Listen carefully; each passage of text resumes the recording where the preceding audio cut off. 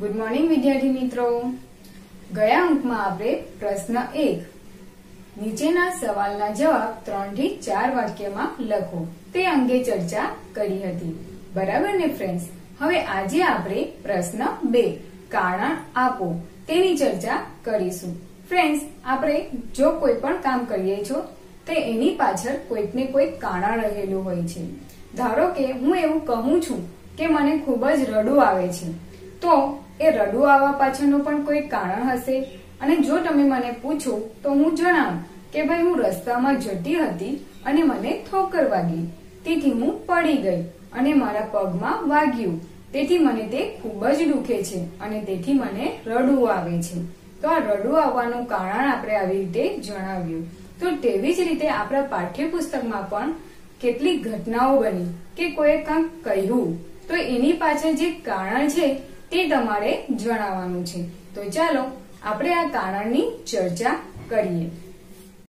કારણ એક, તાઓએ સિક્કો બૂટમાં મૂકી દીધો.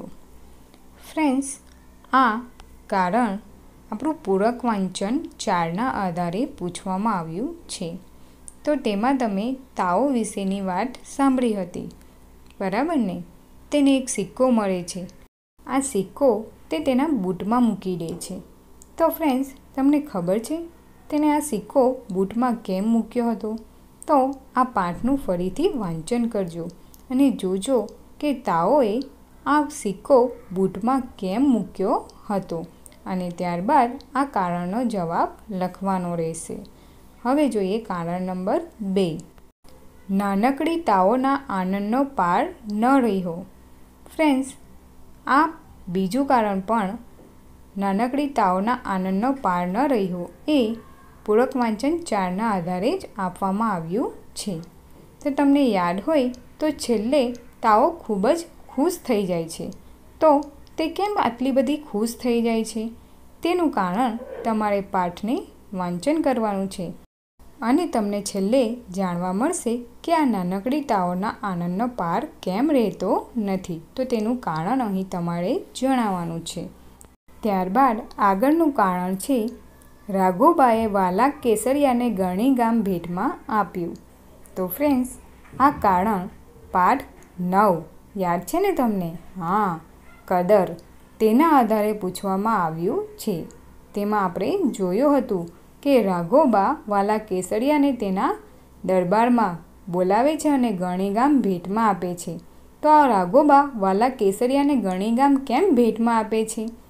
એની બર્થડે હતી કે કંઈક બીજું કારણ હતું તે તમારે પાઠનું વાંચન કરવાનું છે અને અહીં જણાવવાનું છે. ચાલો હવે જોઈએ કારણ નંબર ચાર. વાલા કેસરિયાએ વડોદરાને રામ રામ કર્યા. તો ફ્રેન્ડ્સ આ કારણ પણ પાઠ નવના આધારે જ પૂછવામાં આવ્યા છે. રામ રામ કર્યા એટલે કે, યાદ છે તમને રામ રામ કરવું એટલે શું? હા, વિદાય લેવી, ત્યાંથી જતા રહેવું. તો આ વાલા કેસરિયા વડોદરા કેમ આવ્યો હતો અને કેમ વડોદરા છોડીને ચાલ્યો જાય છે? તો તેનું તમારે પાઠ નવના આધારે અહીં લેખન કરવાનું છે કે વાલા કેસરિયાએ વડોદરાને રામ રામ કેમ કર્યા? બરાબર ને ફ્રેન્ડ્સ તો હવે જોઈએ કારણ નંબર પાંચ. રાઘોબાએ વાલા કેસરિયાની કદર કરી. ફ્રેન્ડ્સ આપણો પાઠ જ છે કદર. અને તેના વિશે આપણે ખૂબ જ સરસ સમજ મેળવી હતી કે કદર કરવી એટલે શું. તો આ પાઠમાં તમે જોયું હતું કે રાઘોબાએ વાલા કેસરિયાની કદર કરી હતી. તો આ રાઘોબા વાલા કેસરિયાની કદર કેમ કરે છે? આ કેસરિયાએ એવું શું કર્યું હતું કે રાઘોબાએ એની કદર કરી હતી? તે કારણ અહીં તમારે જણાવવાનું છે. બરાબર ને? તો આ ચાર કારણને તમે બરાબર પાઠનો અભ્યાસ કરશો એટલે સારી રીતના અહીં જણાવી શકશો. હવે આગળનું કારણ જોઈએ છ. વોલ્ટરને તેના દેશે ઓલિમ્પિક સ્પર્ધામાં ભાગ લેવા મોકલ્યો. ફ્રેન્ડ્સ, વોલ્ટર વિશે તો તમે જાણો જ છો. હા, તેની વાત કયા પાઠમાં આવતી હતી? યાદ છે? બોલો. હા, પાઠ બાર, અપંગના ઓજસ. ફ્રેન્ડ્સ, તમે જોયું હતું કે વોલ્ટરને લકવાનો રોગ થયેલો હતો. અને તેના કારણે તે ચાલી પણ શકતો ન હતો. તો પછી આ ઓલિમ્પિક જેવી કેટલી મોટી સ્પર્ધામાં ભાગ લેવા માટે તેના દેશે કેમ એને મોકલ્યો? શું એવું થયું કે વોલ્ટરને તેના દેશે ઓલિમ્પિકની સ્પર્ધામાં ભાગ લેવા મોકલ્યો? તેનું કારણ તમારે પાઠનું વાંચન કરવાનું છે અને તેના આધારે જણાવવાનું છે. બરાબર ને ફ્રેન્ડ્સ હવે જોઈએ કારણ નંબર સાત. ભીમરાવ વધુ અભ્યાસ કરવા વિદેશ ગયા. તો આ કારણ કયા પાઠના આધારે પૂછવામાં આવ્યું છે? કોઈ કહેશે મને? હા પાટેર ભારત રત્ન ડૉક્ટર આંબેડકર. ભીમરાવ એ ડૉક્ટર આંબેડકરનું જ નામ છે. તો તેઓ વધારે અભ્યાસ કરવા માટે વિદેશ કેમ ગયા? તેમણે આપણા દેશમાં અભ્યાસ કરતા જ હતા. પછી તેઓ વધુ અભ્યાસ કરવા માટે વિદેશ કેમ જાય છે? તો તે વિશેની વાત આ પાઠમાં તમને જણાવવામાં જ આવી છે. તો આ પાઠનું ફરીથી વાંચન કરજો અને આ કારણ તેનો જવાબ જણાવજો. હવે પછી જોઈએ કારણ નંબર આઠ. ડૉક્ટર આંબેડકર સાથે તેમનો ઓફિસનો પતાવારો ગેરવર્તાવ કરતો. આ કારણ પણ પાઠ ટેડના આધારે જ પૂછવામાં આવ્યું છે. તો આપણે તેમાં વાત કરી જ હતી કે ડૉક્ટર આંબેડકર ભણી ગણીને સારી નોકરી મેળવે છે અને એક સારા પોસ્ટ ઉપર નોકરી કરતા હોય છે. ત્યારે તેમની ઓફિસનો પતાવારો તેમની જોડે ગેરવર્તાવ કરતો હોય છે. તેમને ફાઇલો છૂટતી માડીને આપતો હોય છે.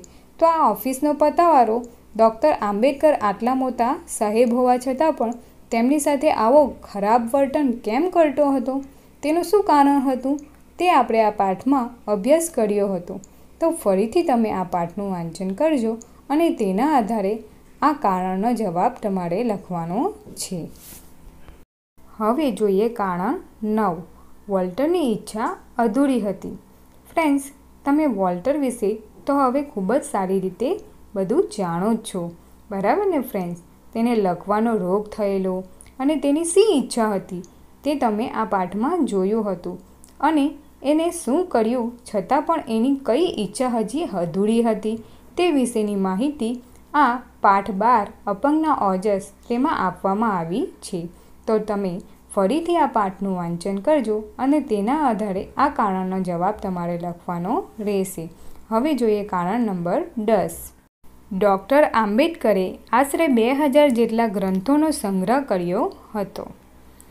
ફ્રેન્ડ્સ, આપણે તેર ડૉક્ટર બાબા સાહેબ આંબેડકર તેમના વિશેનો અભ્યાસ કર્યો હતો.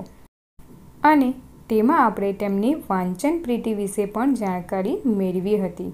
તો તેમાં તમે જોયું હતું કે તેમણે આશરે બે હજાર જેટલા ગ્રંથોનો સંગ્રહ એટલે કે તેમણે ભેગા કર્યા હતા. તો આટલા બધા ગ્રંથો તેમણે શું કામ ભેગા કર્યા હશે? તેમને એવું શું ગમતું હતું કે આટલા બધા પુસ્તકો તેમણે ખરીદીને ભેગા કર્યા હતા? તો તેમણે વાંચનનું જે શોખ હતો તે વાળો ફકરાનું તમે ફરીથી વાંચન કરશો, એટલે તમને આ કારણનો જવાબ મળી જશે. તો એ પ્રમાણે આ કારણોના જવાબ તમારે લખવાના રહેશે. કારણ બાદ હવે જોઈએ પ્રશ્ન ત્રણ. નીચેની કાવ્ય પંક્તિ પૂર્ણ કરો. ફ્રેન્ડ્સ, આપણે સત્ર બે માં ચાર કાવ્યનો અભ્યાસ કર્યો.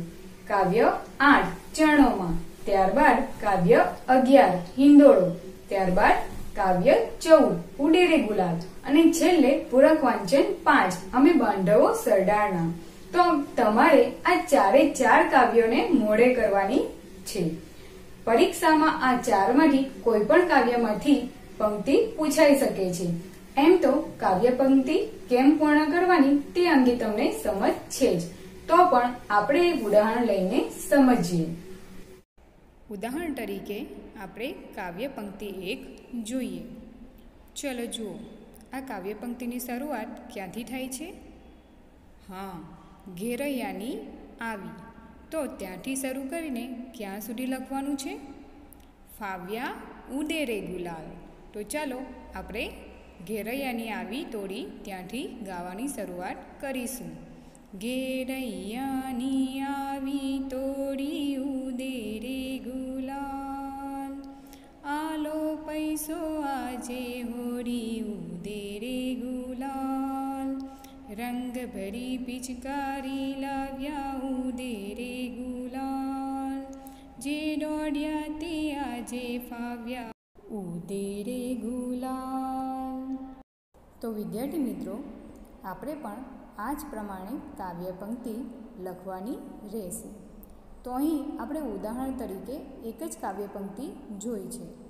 પણ આપણે બધી જ કાવ્યો મોઢે કરવાની છે અને કાવ્ય પંક્તિ જ્યાંથી પણ પૂછાય ત્યાંથી શરૂ કરીને જ્યાં સુધી લખવાની હોય તે તમારે લખવાનું રહેશે. તો ફ્રેન્ડ્સ જ્યારે પણ તમે કાવ્ય પંક્તિ લખો ત્યારે તેની પંક્તિનો ક્રમ અને સાથે સાથે તેમાં આવતા વિરામ ચિહ્નોનું તમારે ધ્યાન રાખવાનું રહેશે. આપણે અભ્યાસક્રમમાં આપવામાં આવેલ બધી જ કાવ્યોને ગાઈને મોડે કરવાની છે.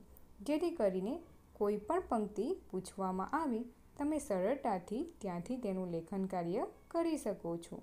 બરાબર ને ફ્રેન્ડ્સ? તો આવી રીતે કાવ્ય પંક્તિ પૂર્ણ કરો, પ્રશ્ન તમારે કરવાનો રહેશે. હવે જોઈએ પ્રશ્ન ચાર. નીચેના શબ્દના સમાનાર્થી શબ્દ લખી વાક્ય પ્રયોગ કરો. વિદ્યાર્થી મિત્રો, તમે અત્યાર સુધી આ પ્રકારની એક્સરસાઇઝ ઘણીવાર કરી છે. અહીં કેટલાક શબ્દો આપવામાં આવ્યા છે. એ શબ્દનો સમાનાર્થી શબ્દ, સમાન એટલે કે સરખા અર્થવાળો શબ્દ. સમાનાર્થી શબ્દ લખવાનો છે અને ત્યારબાદ બેમાંથી કોઈ પણ એક શબ્દનો ઉપયોગ કરીને વાક્ય બનાવવાનું રહેશે. તો ચાલો આપણે એક બે ઉદાહરણ જોઈએ. પહેલો શબ્દ છે, કંચન. તો આ કંચનનો સમાનાર્થી શબ્દ શું થશે? બોલો. હા, કંચન એટલે કે સોનું. હવે આ કંચન અથવા તો સોનું એ બેમાંથી કોઈ પણ એક શબ્દનો ઉપયોગ કરીને વાક્ય બનાવવાનું રહેશે. તો ચાલો આપણે વાક્ય બનાવીએ. કંચન શબ્દ ઉપરથી વાક્ય બનાવીશું. સ્ત્રીઓને કંચનના ઘણેરા પહેરવા ખૂબ જ ગમે છે. તો આવી રીતે તમે સોનું શબ્દ ઉપરથી પણ વાક્ય બનાવી શકે છે. મારી મમ્મી પાસે સોનાનો સેટ છે. તો બસ, આવી રીતે સમાનાર્થી શબ્દ લખવાનો છે, ત્યારબાદ તેનો ઉપયોગ કરીને વાક્ય બનાવવાનું છે. ત્યારબાદ બીજો શબ્દ જોઈએ. ચલો, બીજો શબ્દ આપવામાં આવ્યો છે, આદર. તો આ આદરનું સમાનાર્થી શું થશે? કોઈ કહેશે મને? હા, આદર એટલે કે સન્માન. બરાબર ને? હવે આદર અથવા તો સન્માન. તમે બેમાંથી કોઈ પણ એક શબ્દનો ઉપયોગ કરીને વાક્ય બનાવી શકો છો. તમે બંને શબ્દનો ઉપયોગ કરીને પણ વાક્ય બનાવી શકો છો. તો ચાલો આપણે આદર ઉપરથી વાક્ય બનાવીએ. આપણે માતા પિતાનો આદર કરવો જોઈએ. તો વિદ્યાર્થી મિત્રો, હવે તમને સમાનાર્થી શબ્દ અને તેના ઉપરથી વાક્ય બનાવવાનું આવડી ગયું હશે. અહીં જેટલા પણ સમાનાર્થી શબ્દો આપવામાં આવ્યા છે, તે આપણા પાઠ્યપુસ્તકના આધારે જ આપવામાં આવ્યા છે. તો ફરીથી એકવાર પાઠ્યપુસ્તકમાં આપવામાં આવેલા સમાનાર્થી શબ્દોનો અભ્યાસ કરવો. ત્યારબાદ અહીં આપવામાં આવેલા શબ્દોનો સાચો સમાનાર્થી શબ્દ લખી વાક્યમાં પ્રયોગ કરવાનો રહેશે. બાકી રહેલા બધા શબ્દોના સમાનાર્થી શબ્દો તમારે જાતે લખવાના રહેશે. હવે જોઈએ ત્યારબાદ આગળનો પ્રશ્ન પાંચ. વિરોધી અર્થવાળું વાક્ય બનાવો. ફ્રેન્ડ્સ, અહીં કેટલાક વાક્યો આપવામાં આવ્યા છે. આ વાક્યના વિરોધી અર્થવાળું આપણે વાક્ય બનાવવાનું છે. તમે સમાનાર્થી શબ્દ લખ્યા તે જ પ્રમાણે તમને વિરોધી શબ્દ લખતા પણ આવડે જ છે. તો અહીં એ જ વિરોધી શબ્દોને વાક્યની અંદર લખવામાં આવ્યા છે. તો આપણે એ વિરોધી શબ્દના આધારે આખું વાક્ય વિરોધી બનાવવાનું છે. તો ચાલો આપણે એક બે ઉદાહરણ દ્વારા સમજીએ. પહેલું વાક્ય લઈએ. મારો મિત્ર ખૂબ જ ઉદાર છે. તો અહીં ઉડાણની નીચે તમને લીટી દોરેલી દેખાય છે? હા. તો આ ઉડાર શબ્દનો વિરોધી શબ્દ આપણે અહીં લખીશું. લીટી દોરેલા શબ્દના સ્થાને વિરોધી શબ્દ લખીશું અને ફરીથી વાક્યને વાંચન કરીશું. તો તમને ખબર છે, આ ઉદાર શબ્દનો વિરોધી અર્થ શું થાય છે? કોઈ કહેશે મને, હા ઉડારનો વિરોધી થશે કંજૂસ. તો અહીં આપણે ઉડાર શબ્દ કાઢી નાખીએ અને તેની જગ્યાએ કંજૂસ શબ્દ લખીને વાક્યને ફરીથી વાંચીશું. મારો મિત્ર ખૂબ જ કંજૂસ છે. તો આ વાક્ય વિરોધી અર્થવાળું બની ગયું? હા. તો મિત્રો, આવી જ રીતે આખું વાક્ય તમારે વિરોધી અર્થવાળું બનાવીને લખવાનું રહેશે. વિદ્યાર્થી મિત્રો, આપણે હવે બીજું એક વાક્ય જોઈએ. વાક્ય છે, આપણે વડીલોનો આદર કરવો જોઈએ. તો આ વાક્યમાં કયા શબ્દની નીચે લીટી દોરેલી છે? દેખાય છે તમને? હા. આદર શબ્દની નીચે. એટલે કે અહીં આદરનો વિરોધી શબ્દ લખવાનો છે. તો આદરનો વિરોધી શબ્દ શું થશે? હા, અનાદર. તો અહીં આપણે અનાદર લખીને ફરીથી વાક્ય બનાવીએ છીએ. તો જુઓ, વાક્ય કેવું બને છે. આપણે વડીલોનો અનાદર કરવો જોઈએ. ફ્રેન્ડ્સ, આ વાક્ય તમને યોગ્ય લાગે છે. શું આપણે વડીલોનો અનાદર કરવો જોઈએ? ના ને? હા. તો અહીં આપણે વાક્યના અંતે કયો શબ્દ લગાવીશું? હા, નહીં. એટલે વાક્ય બનશે, આપણે વડીલોનો અનાદર કરવો જોઈએ નહીં. તો વિદ્યાર્થી મિત્રો, જ્યારે આપણે વાક્યને વિરોધી અર્થમાં ફેરવીએ, ત્યારે જો આપણને વાક્યમાં કોઈક શબ્દ ઉમેરવા જેવો લાગે કે કોઈ શબ્દમાં ફેરફાર કરવા જેવો લાગે, તો તે વાક્યમાં કરી દેવો. તો આવી રીતે વિરોધી અર્થવાળા વાક્યો બનાવવાના રહેશે. આગળના બીજા આપેલા વાક્યો તમારે જાતે વિરોધી અર્થવાળા બનાવવાના રહેશે. તો વિદ્યાર્થી મિત્રો, આ ચર્ચાને અંતે કાવ્ય પંક્તિ કેમ પૂર્ણ કરવી સમાનાર્થી શબ્દો કેમ લખવા અને વિરોધી શબ્દો માટે વાક્યને વિરોધી અર્થવાળું કેવી રીતે બનાવવું, આ બધી જ બાબતોની તમને સમજ પડી ગઈ હશે. હવે આગળના પ્રશ્નોની ચર્ચા આપણે આવતા અંકમાં કરીશું. તો ફરી મળીશું. આવજો.